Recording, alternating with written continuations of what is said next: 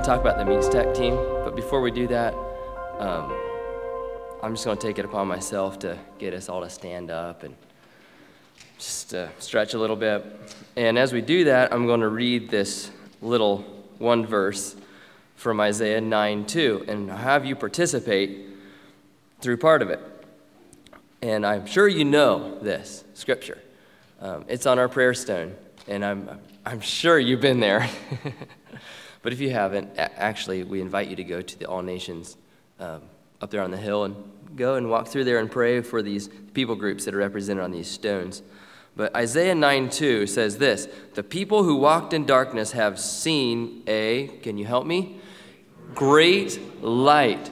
They have seen a great light. Those who dwelt in the land of deep darkness, on them his light shone.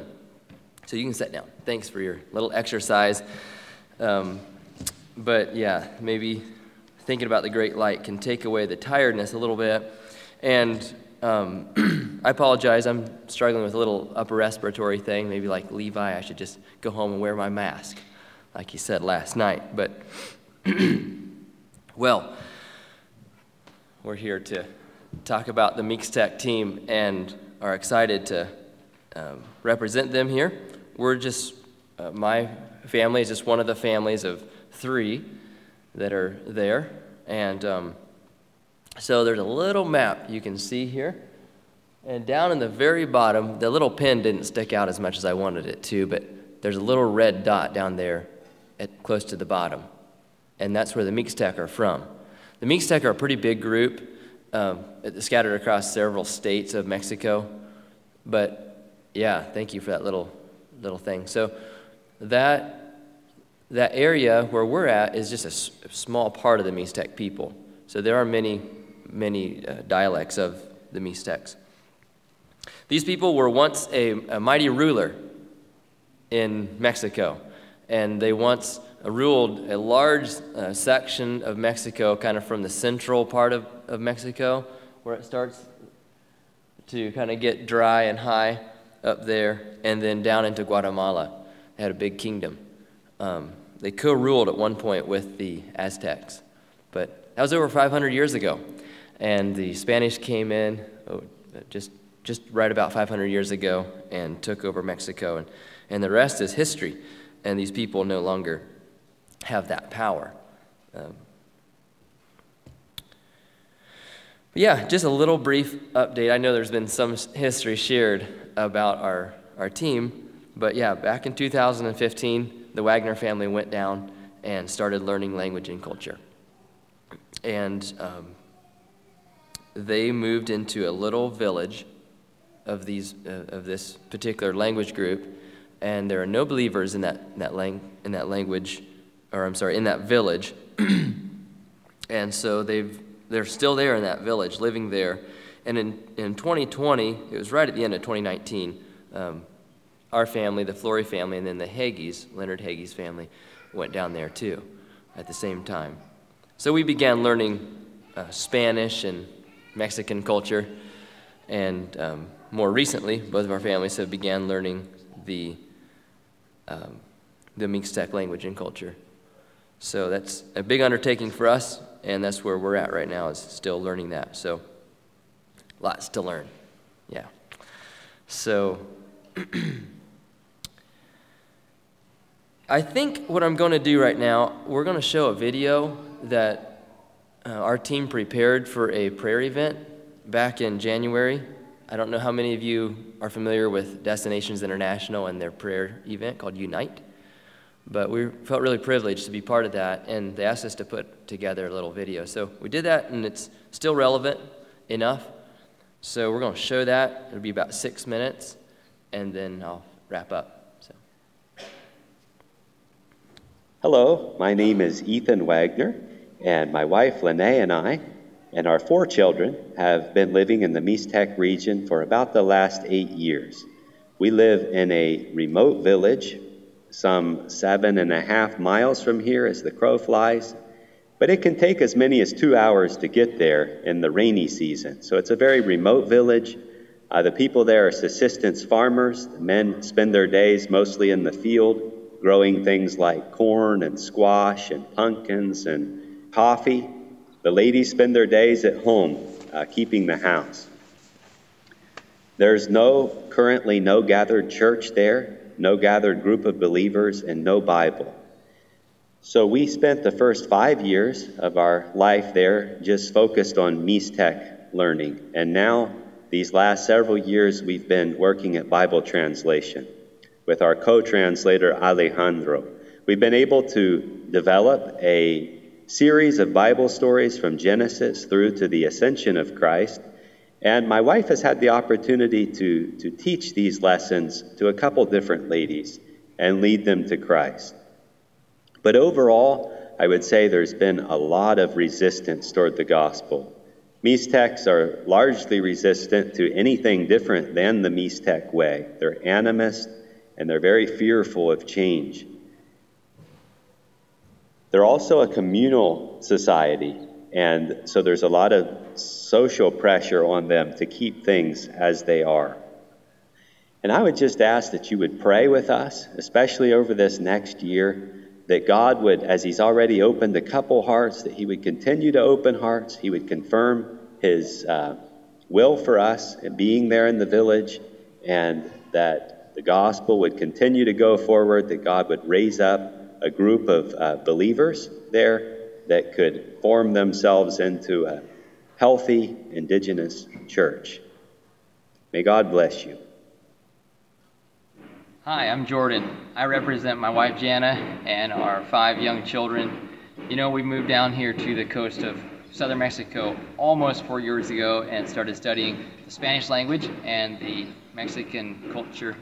And just last year, we made the transition into the indigenous community of the Mixtecs. And so now we're studying their language, and their culture. I believe there's a lot of spiritual interest among the Mixtec people. Yet I know that there's many barriers to the gospel actually taking a root in the heart and um, really changing their family and their life. And so these are things we pray for that God would break those barriers.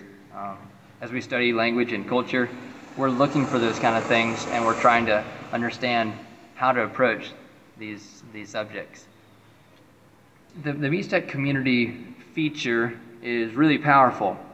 Um, it keeps everybody together. They kind of all know what's going on. There's a lot of gossip, of course, but they are they're kind of like one body. They want to operate as one body, and when somebody doesn't want to cooperate well, it can it can get ugly. Envy is a problem among the Mixtecs, and and this has uh, very destructive and powerful features to it, to the point that, well, you don't even want to grow some crops because you might you might think that someone's going to go and pinch the buds off of your off your fruit tree or off of your your vegetables. I see many opportunities for development. Something that we get asked about a lot is English teaching. Another opportunity that I see is literacy. Um, almost no one reads Mixtec, and there's almost no books written in Mixtec. Although there is an alphabet, the thing about the Mixtecs that keeps me up at night is that they don't know Jesus as their Savior. Their community gives a death to them. I want the Mixtecs to know Christ, and I want them to be gathered into the community of believers. My name is Leonard, and my family and I have lived in southern Mexico for about four years. Three of those years we have spent living among and interacting with the Mixtec people of this region. The village where we live is one of the larger Mixtec communities in this area, and there is a small but active Christian church in this village, as well as small groups of believers which meet in some of the surrounding villages.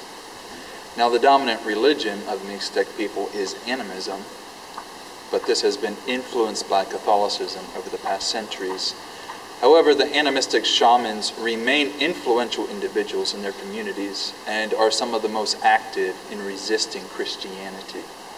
Some Mixtec villages are openly hostile to the gospel being preached in those villages, even going so far as to drive out or imprison those who attempt this. And this sentiment, this hostility to Christianity, is driven by those who do not want to lose the traditional customs and belief systems of the Mixtec people. The Mixtec people do not have the Bible in their language, and of course, this handicaps the spiritual growth of the believers who can only access God's Word in the Spanish language. A few of the Mixtec believers can read and understand Spanish well enough to rely on the Spanish Bible for their spiritual instruction but the majority read Spanish poorly or not at all. So the Mixtec Church sorely needs the Bible in their heart language, as well as being taught how to read it. And these needs are something which our team, with God's help, is working to meet. Yeah, that kind of gives you a, a, a, good overview of what's going on there. And when you hear Ethan talk, you hear him talk about his village where there's no gathered church. And you hear um, Leonard talk about the village where him and I are at, and there is a small gathered church there. We're thankful for that. Um, some of that was discovered in the last uh, year and a half or two. And so we're really excited about that, and yet also aware that there are a lot of dangers in a little growing church that's brand new. Um, so even just this last year, I'll just mention this as just for your, um, yeah, so you can pray for this. But a, a cult came from the, from the Philippines and uh, took away some of the believers of that, that little church. So it's a really painful time for the, the little church there. Um, but there's, there's a little picture of that church that of this church that sticks in my mind, and I probably will never forget it. And it's of in one of the little villages that are next to ours. There's a tiny church, and I was able to go and visit there. And I didn't know about their old pastor, but their pastor is probably about this tall, um, very, very old, and can hardly see. I mean, I don't think he could see me until I was really close to him. And his Bible was huge, big old Spanish Bible in old language Spanish. So he doesn't really understand that very well. But he was standing there in this dark little adobe house getting ready to preach his sermon. And he had his huge flashlight, re- looking down at his huge Bible with its huge magnified words. And, and he had a magnifying glass. And he was going to read one verse, and that was going to be it.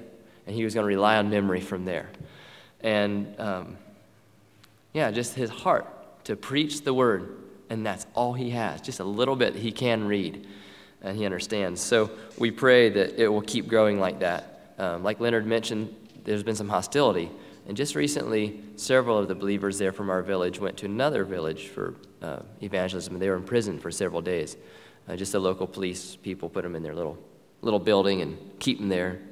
So, but in Ethan's village, it's been a different story, and I'm just going to give a brief overview of that. Um, back in 2022, they were really, they were, they were really uh, preparing and getting ready to teach uh, chronological Bible stories there. And that's kind of from creation all the way leading up to through the prophecies to Christ. And they were so excited.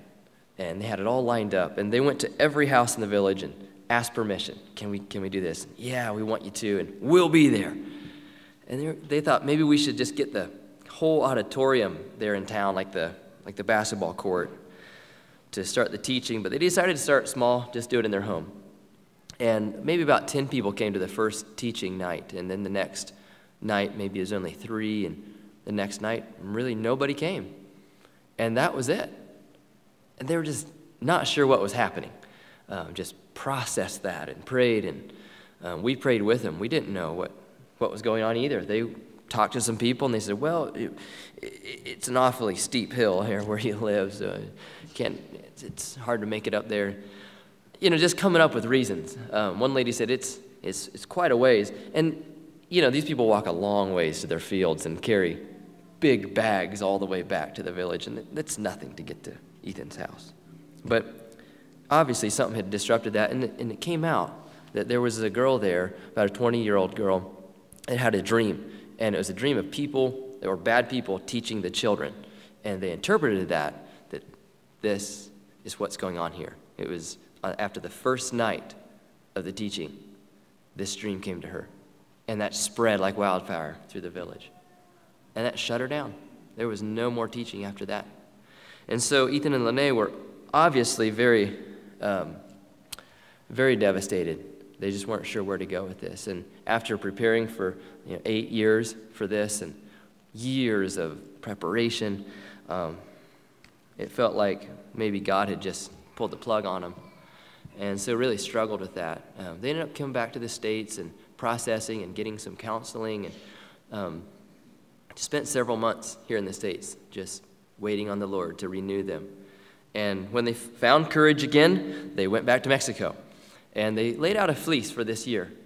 Just said, Well, Lord, we're just going to lay it out here. And this next year, we're going to go back to our village. And we feel called there, but if nothing happens in the next year significant and we don't think we should stay any longer, we just will look for something else. But we're relying on you. And so um, it was about one month ago. Ethan was just faithfully doing his work. And um, he was going to his co translator's house to work on translation work. And he heard footsteps behind him, literally on a little footpath going through the woods around houses, which they all weave through like people's yards and stuff. And footsteps come up behind him, and it's, uh, it's about a 20 year old girl. She's like, Hey, hey, um, Uncle, when, when, are you going to start your, uh, your teaching again? And he's like, well, what, what teaching? And this is kind of awkward because, you know, men and women that aren't married, they don't hang out together. And, and she's kind of non traditional. And it's the same girl that had the dream, uh, you know, that shut this thing down. And he's like, kind of realizes it's her and not sure where this is going. And, you know, Ethan, he's just faithful plugger. And he's just walking along. He says, Well, what do you mean? Well, that teaching about God. Um, well, would you like to learn about that?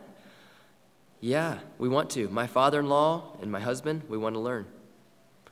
And he said, Well, we'll, we'll, uh, we'll come see you tomorrow night.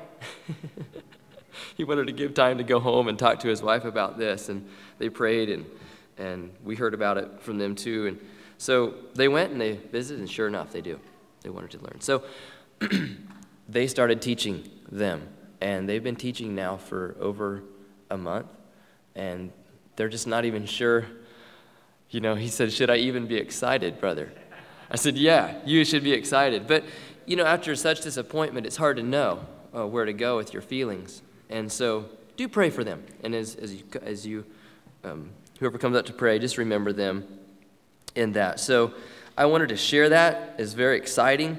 Um, they have a, a, long road to go in their teaching and in the Bible translation, but God has really, uh, kind of when we give up, He kind of steps in. So that's um, now, I have another, another slide.